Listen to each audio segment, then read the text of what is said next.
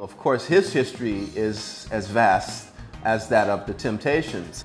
You know, all of the Broadway shows he's produced, all of the, the many recordings he's done.